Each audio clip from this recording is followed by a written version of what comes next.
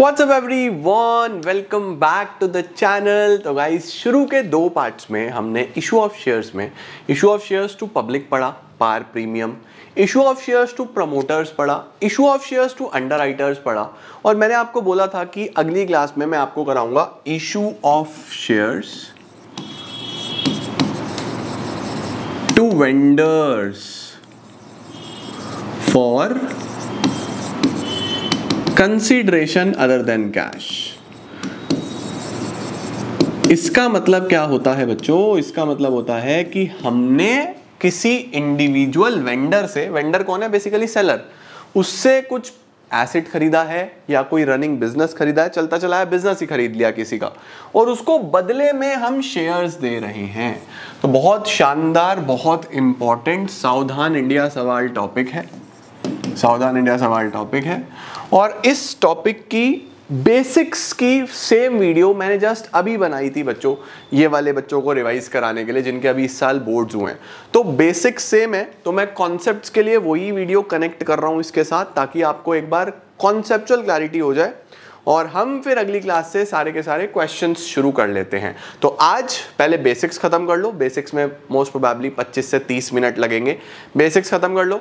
आपके चारों ही topics complete हो जाएँगे इशू ऑफ़ शेयर्स के। Issue of shares to public issue of shares to promoters issue of shares to underwriters and issue of shares to vendor बहुत सावधान India है। Paper में आएगा ही आएगा इंपॉर्टेंट क्वेश्चन है, अच्छे से इसको करेंगे। जाओ कॉपी पेन लेके आओ, जल्दी से लेट्स बिगैन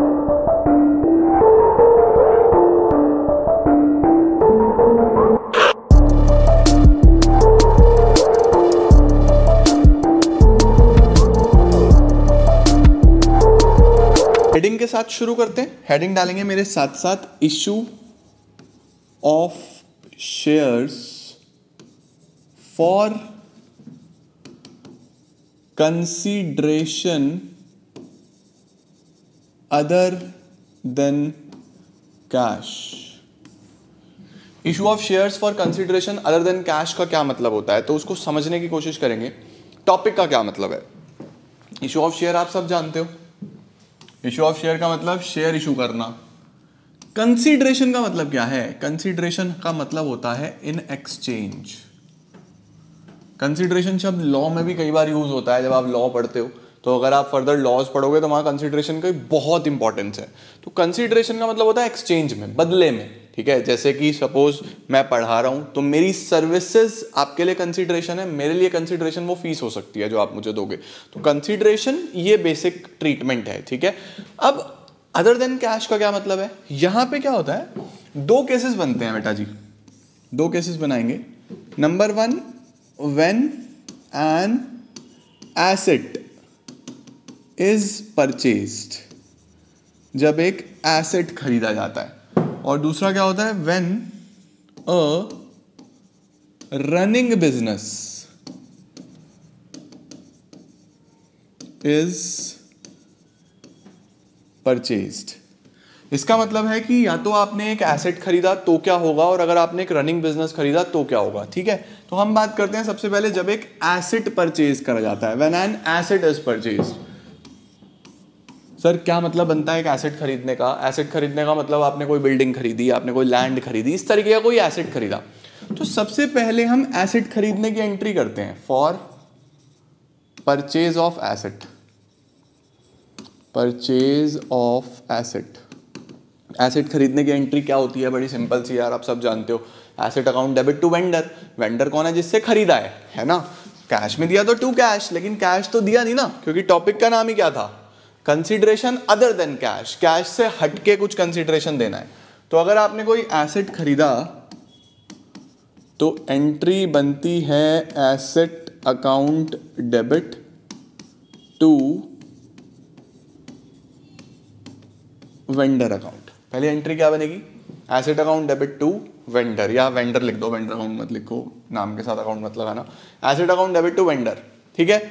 अब आप क्या करने वाले हो? इस वेंडर को बोलोगे कि मैंने ज़मीन खरीद ली, मैंने बिल्डिंग खरीद ली, मैंने प्रॉपर्टी खरीद ली, लेकिन मेरे पास पैसा नहीं है, मैं पैसे के बदले में आपको शेयर्स देने वाला हूँ। पैसे के बदले में मैं आपको बिल दे सकता हूँ, पैसे के बदले में आपको चेक दे सकता हूँ सिमिलरली मैं आपको क्या देने वाला हूँ? मैं आपको देने वाला हूँ शेयर्स तो इस टॉपिक को क्या बोलते हैं? Issue of share for consideration other than cash ठीक है? तो अब पेमेंट कैसे होगी सर पेमेंट होगी वेंडर अकाउंट डेबिट टू, अगर आप कैश देते तो टू कैश कोई बिल दे देते तो टू बीपी कोई वहाँ पे चेक दे देते तो टू बैंक लेकिन अभी हम शेयर दे रहे हैं तो एंट्री बनती है vendor account debit to share capital account तो फ़र्स्ट एंट्री क्या है? स्क्रीनशॉट लेके चलो. Asset account debit to vendor और this one is for payment for payment we will be doing vendor account debit to share capital ठीक है ji? I hope this is clear to everyone यहाँ पे क्या होता है बस? यहाँ पे याद रखना। Shares are issued at par सही? सर, क्या ऐसा भी हो सकता है कि वेंडर को पैसा दिया और वो शेयर्स प्रीमियम पे हो? ऐसा भी हो सकता है। तो उस केस में क्या एंट्री बनती है? और vendor account debit to share capital account and to security premium account तो ये एंट्री बन गई vendor account debit to share capital and to security premium ठीक है जी? तो आपके पास ये एंट्री बन जाती है। अब यहाँ पे क्या है? यहाँ पे शेयर्स कैसे इशू करे गए हैं? Shares are issued at premium यहाँ पे शेयर्स कैसे इशू करे गए हैं? प्रीमियम पे इशू करे गए हैं। ठीक है? इसके नीचे एक नोट लिखो। वेरी वेरी इंपॉर्टेंट इस नोट को सावधान इंडिया पे लिख लेना। सावधान इंडिया। बहुत बहुत बहुत बहुत इंपॉर्टेंट ठीक है? Always calculate the number of shares issued हमेशा क्या कैलकुलेट करके चलो कि कितने शेयर्स इशू करे गए हैं सर, वो क्यों कैलकुलेट करना है, उसका मैं आपको अभी पर्पस बताता हूँ। Always calculate the number of shares issued वो कैसे निकलता है? Number of shares issued is equal to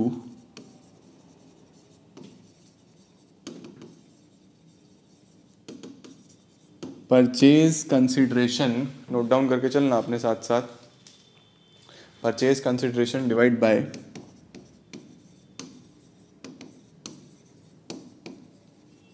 issue price of share share कितने में इशू करा गया है, ठीक है? सर परचेज कंसिडरेशन क्या है? परचेज कंसिडरेशन है जितने में ये प्रॉपर्टी आपने या बिल्डिंग आपने खरीदी है।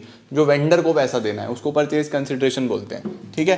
तो एंट्री क्या बनती है? सबसे पहले तो एसेट खरीदने की एसेट टू वेंडर फिर पेमेंट में पैसा ना देके शेयर दिया तो vendor debit to share capital या फिर vendor debit to share capital to security premium अगर वो प्रीमियम पे हुआ, ठीक है? हमेशा क्या कैलकुलेट करके चलना है? Number of shares issued so that हम लोग उसको पता कर पाए कि अमाउंट कितनी गई है। इसके लिए हम एक एग्ज़ाम्पल के थ्रू समझते हैं, फिर हम इसके दूसरे पार्ट पे चलेंगे। लिख के चलो फॉर एग्ज़ाम्पल एक हमारे को क्वेश्चन मिल जाए, हम फिर शुरू करते हैं। लिखेंगे X limited purchase assets from Y limited X limited purchase assets from Y limited for rupees eighteen lakhs X limited ने एसेट खरीदे वाई लिमिटेड से कितने के? एटीन लाख के. Payable in equity shares of hundred each payable in fully paid equity shares of rupees hundred each इसके दो case बनेंगे, पहला एट पार दूसरा एट ट्वेंटी परसेंट प्रीमियम चलो जी, इस क्वेश्चन को नोट डाउन करो जल्दी से। एक्स लिमिटेड ने एसेट खरीदे हैं वाई लिमिटेड से 18 लाख रुपए के। और उसका पेमेंट जो है वो कैसे करा है? शेयर्स दिए हैं, ठीक है? तो सर क्या एंट्री बनेगी? देखो, सबसे पहली एंट्री तो एसेट खरीदने की। एक्स ने एसेट खरीदा किससे? वाई से। तो एंट्री बनती है assets account debit to Y limited Y limited से कितने के एसेट्स खरीदे? 18 लाख रुपीस के। ठीक है? अब अगर इसको शेयर्स दिए पार पे तो पार पे तो कोई प्रॉब्लम ही नहीं है ना, क्योंकि आपको 18 लाख रुपीज़ ही देने हैं।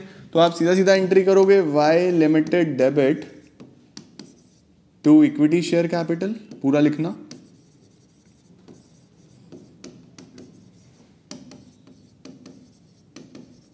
Eighteen lakh eighteen lakh problem कहाँ पे आती है? प्रॉब्लम आती है अगर ये केस हो। ट्वेंटी परसेंट के प्रीमियम पे तो ट्वेंटी परसेंट के प्रीमियम पे है तो फिर क्या एंट्री बनती है? फ़र्स्ट एंट्री तो सेम बनेगी, दूसरी एंट्री में प्रॉब्लम आएगी फ़र्स्ट तो सेम एंट्री बन जाएगी। यही वाली asset account debit to vendor same asset debit to Y दूसरी एंट्री में क्या बात है? सर दूसरी एंट्री में आएगा Y limited debit to equity share capital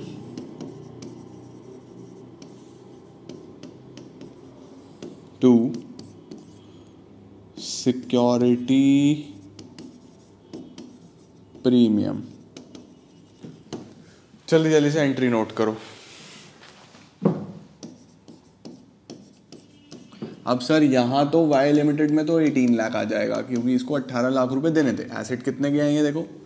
18 lakh rupees के हैं। तो यहाँ पे तो 18 लाख आ गया। अब प्रॉब्लम क्या आएगी शेयर कैपिटल में कितना और प्रीमियम में कितना? तो इसके लिए इसके लिए आपको हमेशा क्या करना है?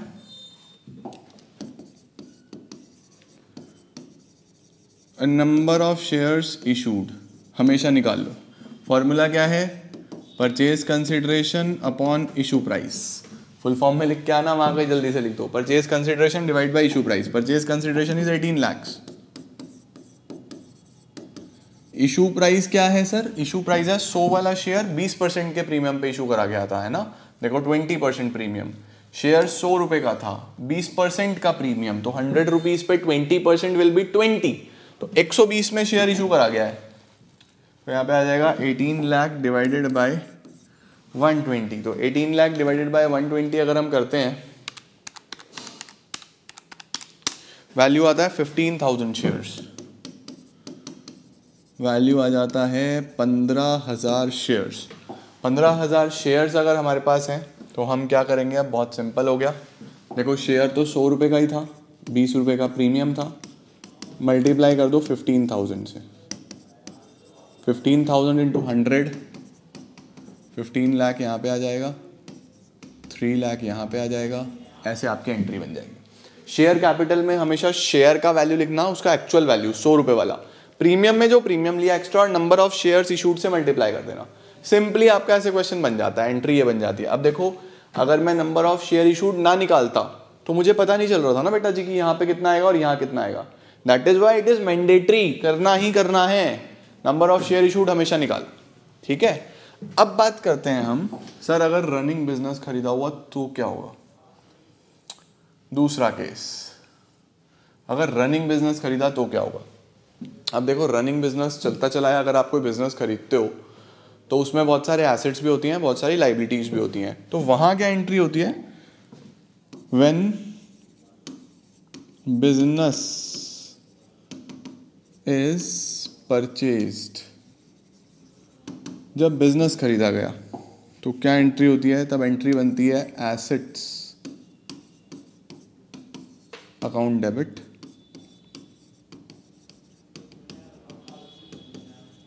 to liabilities to vendor वहाँ एंट्री ये बनती है। Asset debit to liability to vendor ठीक है? अब हम इसको ना कंपेयर करते हैं बच्चे। सर कंपेयर करने का क्या मतलब है? देखो, यहाँ पे आपको एक कॉन्सेप्ट समझना है, जिस कॉन्सेप्ट को हम बोलते हैं नेटवर्थ आप लोगों ने कई बार सुना होगा, उस इंडिविजुअल की नेटवर्थ इतनी, उस कंपनी की नेटवर्थ इतनी। भाई नेटवर्थ है किस चिड़िया का नाम? किसको बोलते हैं हम net worth net worth is basically the value of business कि बिज़नेस है कितने का? क्या उसका पैसा देना चाहिए?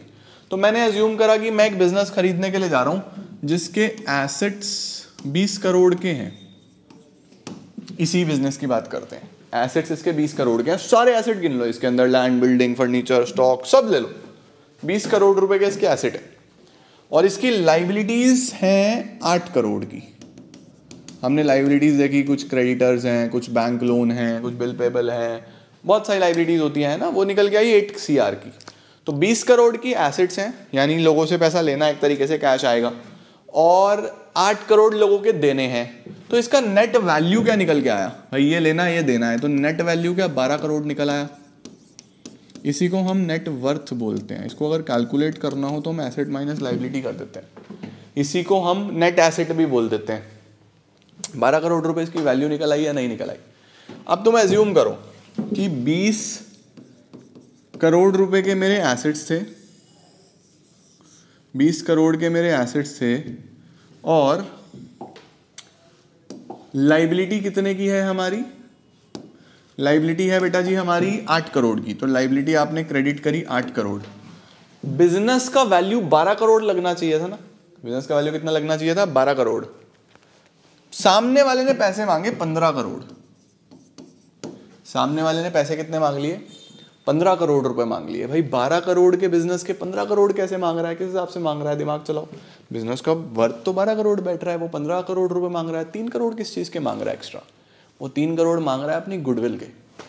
भाई, आप किसी का भी बिज़नेस खरीदोगे, उसके नाम के साथ खरीदोगे ना? तो तीन करोड़ का जो डिफरेंस है, आपके हिसाब से वैल्यू होनी चाहिए थी बारह करोड़। उसने मांगे पंद्रह करोड़। तीन करोड़ फालतू किस चीज़ के? वो मांगे गुडविल के। तो ये तो कॉन्सेप्ट है। लेकिन अगर आप यहाँ ध्यान से देखो तो एंट्री भी मैच नहीं हो रही बेटा जी। ऊपर बीस, नीचे ट्वेंटी थ्री तीन करोड़ का फ़र्क आ रहा है या नहीं आ रहा है? तो बैलेंसिंग फिगर डेबिट में आ गई। बैलेंस डेबिट में आ गया। तीन करोड़ का बैलेंस जब भी डेबिट साइड में आए तो हमेशा गुडविल डेबिट होगा।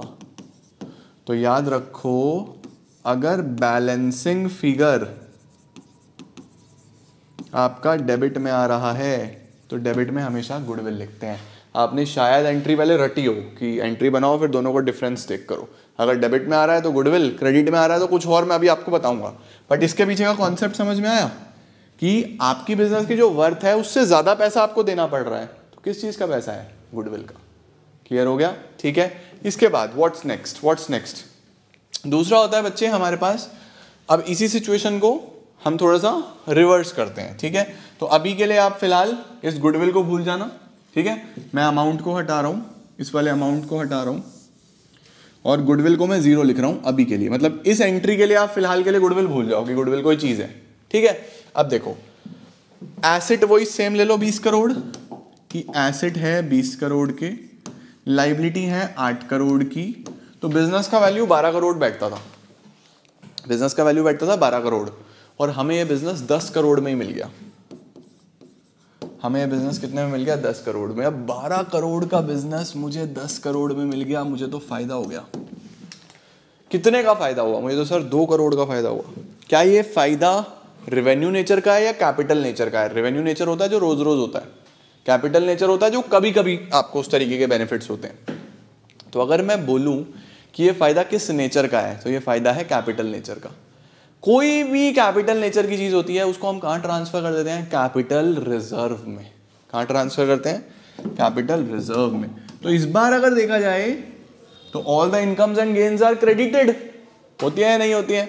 अब देखो, इधर 20 इधर 18 दो करोड़ का फ़र्क आ रहा है या नहीं आ रहा तो यहाँ मैं कहाँ पे डालने वाला हूँ ये अमाउंट कैपिटल रिज़र्व में। ये भी बैलेंसिंग फिगर है। तो अगर आप ध्यान से देखो तो या तो डिफरेंस आपका आएगा डेबिट साइड में, इधर, और या फिर आपका डिफरेंस आएगा क्रेडिट साइड में। अगर आपका डिफरेंस बेटा जी डेबिट में आता है तो आप गुडविल को डेबिट करोगे। अगर आपका डिफरेंस क्रेडिट में आता है तो आप कैपिटल रिज़र्व को क्रेडिट करोगे। बात समझ आई। यूजुअली हम लोग एंट्री याद करते हैं asset debit to liability to vendor फिर डिफरेंशिएट करा। डिफरेंस आया, अगर डेबिट में तो गुडविल लिख दिया क्रेडिट में आया तो कैपिटल रिज़र्व क्यों लिख दिया ये समझ में आया? ये ज़रूरी है, ठीक है? अब क्या करते हैं? अब हम पेमेंट करते हैं। पेमेंट की सेम एंट्री है। फॉर पेमेंट पेमेंट में कैश तो देना नहीं है। पेमेंट में शेयर्स देने हैं। तो शेयर्स देने हैं तो एंट्री बनेगी vendor debit to share capital. और अगर वो शेयर्स प्रीमियम पे हुए तो vendor debit, to share capital, to security premium account. Account लगा लेना यार सबके साथ, प्लीज़, मैं भूल जाता हूँ जल्दी जल्दी में। अगर प्रीमियम पे है तो ये सेम तो मेजर जो कॉन्सेप्ट है ना, वो वही है। वो समझ में आना चाहिए। उसके बाद पेमेंट तो सेम है यार। पेमेंट में क्या है?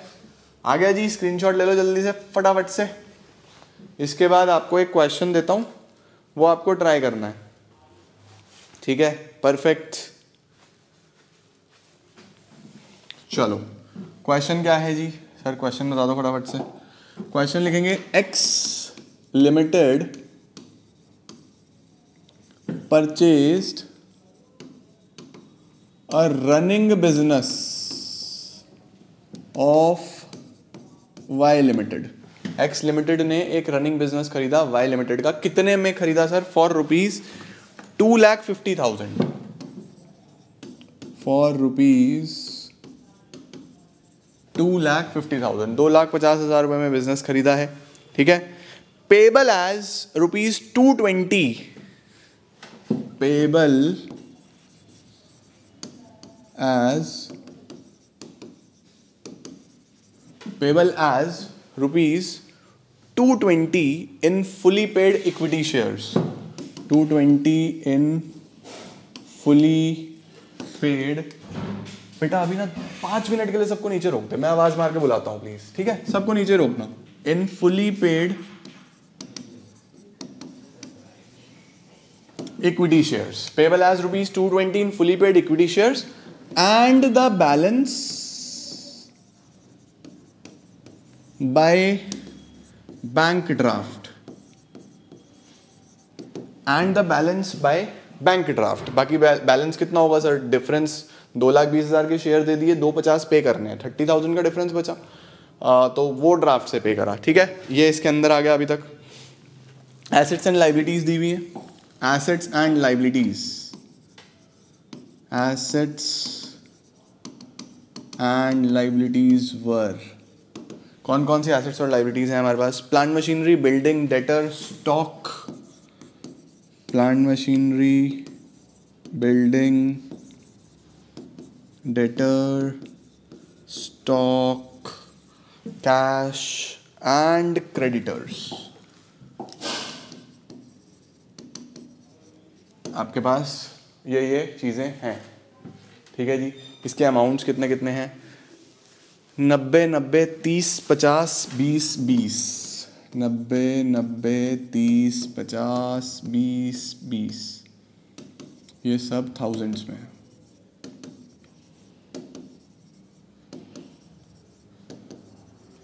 आपको एंट्रीज करनी है। लो जी। वीडियो को पॉज करो और अभी के अभी एंट्री करो। ठीक है? वीडियो पॉज करो रनिंग बिज़नेस खरीदा। इस बार तुमको खुद कोशिश करनी है भाई। सही है ना? रनिंग बिज़नेस खरीदा, तुम खुद ट्राई कर रहे हो वीडियो को पॉज करो, कोशिश करो। चलो जी आई होप आपका क्वेश्चन हो गया होगा, आपने पॉज करके क्वेश्चन खुद करा होगा। अब देखते हैं कि क्या करना है। आओ जी, मैंने आपको क्या सिखाया? जब भी रनिंग बिज़नेस खरीदा तो सभी एसेट्स डेबिट कर दो। एसेट्स कौन कौन से हैं? Plant machinery building debtor stock cash ये पाँच एसेट्स हैं। Plant machinery debit building debtor stock cash building short में लिख रहा हूँ अब मैं। डेटर्स स्टॉक कैश लाइबिलिटीज को क्रेडिट करना है।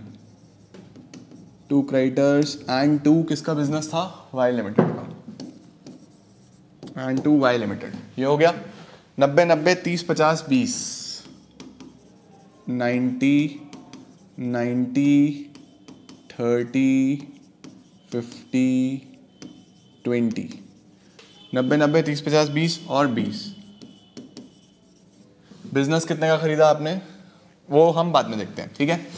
फ़िलहाल आई वॉन्ट कि हम इस बिज़नेस की वैल्यू निकालें, है ना? बिज़नेस की अगर वैल्यू निकालें तो इसका सम कर लो। Ninety ninety, one eighty, two ten, two sixty, two eighty. Two eighty के इसके एसेट्स हैं लाइबिलिटीज़ हैं ट्वेंटी थाउज़ेंड की। तो एसेट माइनस लाइबिलिटी अगर मैं करता हूँ तो दो लाख साठ हज़ार रुपये बिज़नेस का वैल्यू बनता है। एसेट्स माइनस लाइबिलिटीज मैंने आपको यही सिखाया। 260 बिज़नेस का वैल्यू बन गया। आपको ये बिज़नेस कितने में पड़ा? 250 में मिल गया भाई साहब आपको ये बिज़नेस देखो साफ़ साफ़ लिखा हुआ है ना?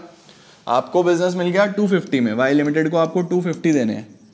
दो साठ वाला बिज़नेस आपको दो पचास में मिल गया। तो क्या आपका दस हज़ार का फ़ायदा है? फ़ायदा हो गया ना? और कोई भी फ़ायदा हो, वो कैपिटल रिज़र्व में डाल देना यहाँ पे। अगर वैसे भी देखा जाए तो डिफरेंस इधर आएगा। इधर बैठ रहा है टू एट्टी इधर बैठ रहा है टू सेवेंटी तो जो डिफरेंस है, उसको किस नाम से लिखेंगे? टू कैपिटल रिज़र्व दस हज़ार रुपये हमने कैपिटल रिज़र्व में डाले ठीक है? डिफरेंस इधर आ रहा होता तो वो गुडविल था। अब पेमेंट कैसे करा जी? पेमेंट करा दो बीस तो शेयर्स से। अब कुछ नहीं बोला तो वो पार पे ही होगा। Y limited debit to fifty to equity share capital equity share capital to twenty